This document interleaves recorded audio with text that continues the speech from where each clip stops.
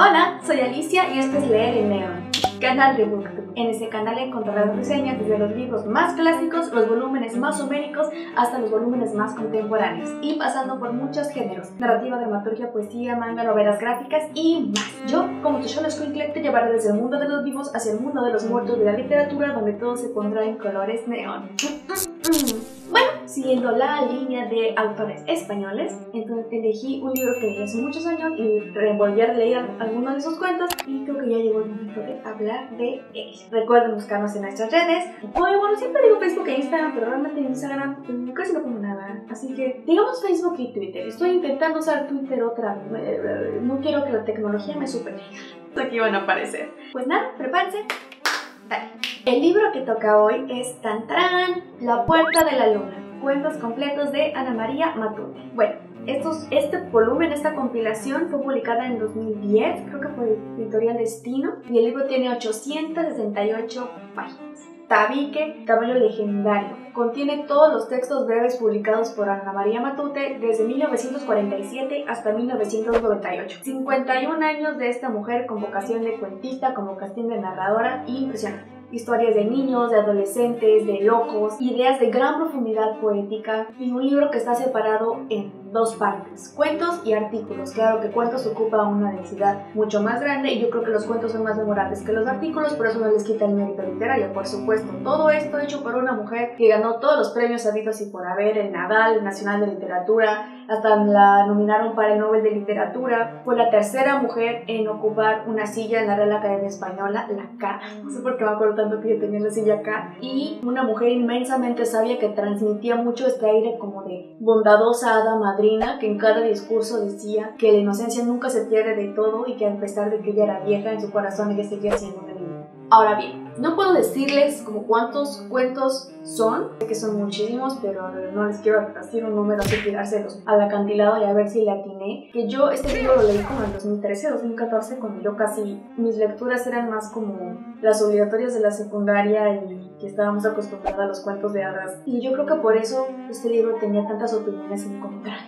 Porque de entrada la primera vez que lo leí, no entendía yo por qué me sentía tan triste, tan despojada, por qué estaba todo este ambiente como tan lúgubre, de posguerra, de abandono. Decía, ¿dónde está la moraleja? ¿Dónde está mi enseñanza? ¿Dónde está mi plot twist? ¿Dónde está mi final feliz? Y es que no, esto no, entiendo, o sea, no entiendo qué es, no, entiendo qué estoy leyendo. No Sufrí al leerlo la primera vez, unos cuentos que fueron muy disfrutables, que entendí de qué iban, pero al final del día terminé de leer y dije, pero cuando decidí que quería enseñar esto y volví a releer muchos, muchos de los cuentos, dije, hmm, y ya entendí, ya entendí. Ya entendí de qué va. Entonces, también siempre es difícil valorar un libro de cuentos porque obviamente cada cuento es una entidad diferente entre sí misma y hay unos muy buenos, hay unos que no te dicen nada, hay otros que te horrorizan, hay otros que te encantan muchísimo y al final todo termina siendo muy heterogéneo. Este libro no es una excepción a esa regla, pero sí Debo decir que todos los cuentos acaban mal. No existen finales felices, hay muy pocos finales neutros, no se te dicen las, las cosas a la cara del lector, así como, aquí está tu moraleja, aquí,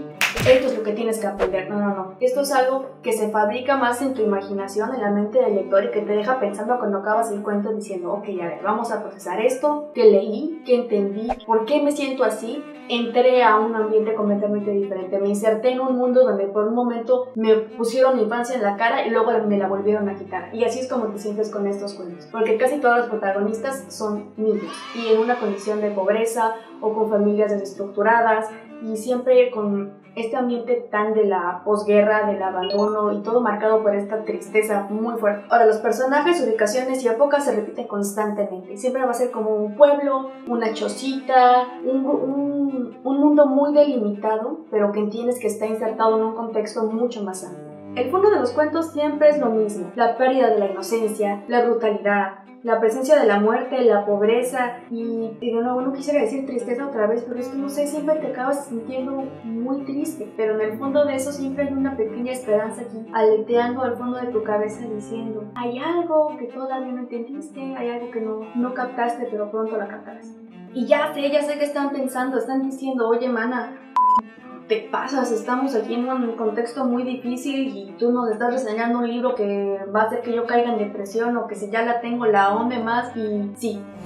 Porque siempre te quedas con este sentimiento de niño desamparado. Pero realmente creo que hay una enseñanza en todo el trasfondo de este libro y en, también en la propia vida de la autora, porque ella, como una niña de la posguerra que creció en contextos muy difíciles, que creo que a través de su obra intenta recuperar la infancia que ella nunca llegó a disfrutar del todo, hizo una carrera de un talento que la hizo atravesar incluso las circunstancias más difíciles y supo transmitir el sentimiento de su época a las generaciones posteriores. Obviamente yo no soy una entendida, yo no he hecho análisis, ni siquiera estudié letras, pero una vez acabando de leer ese libro te quedas con la sensación de que sí, todo estuvo muy triste, desamparado y todo, pero siempre está esa esperanza esperándote al final del libro, esa lucecita blanca que sientes, presientes, adivinas, pero nunca llegas a deslumbrar de todo. Y si algo también caracteriza a estos cuentos, a su autora, es cómo consigue mezclar este estilo tan lírico, tan poético y casi onírico con una realidad crudísima y absolutamente pues humana. Y tampoco les voy a decir que es solo para los entendidos y si no has leído todos los cuentos de Cortázar y de Borges, etcétera, no vas a saber ni qué está pasando. No, pero sí creo que debes entrar a ese libro con cierta mentalidad, que debes de entrar ya siendo un adulto con ganas de revisitar tu infancia y de repensar la condición de la alegría y la tristeza humana. Todos los cuentos son breves, creo que no hay uno de más de 15 páginas, la verdad, todos son muy breves, entonces puedes ir lentamente como yo, iba desgranándolo así como una granada, como, como una granada, como un maíz lentito, día a día, vamos otra vez. Un lugar especial que contiene todo un mundo secreto que nos devuelve al niño que aún vaga dentro de nosotros buscando inútilmente puertas y ventanas por donde escapar. Entonces,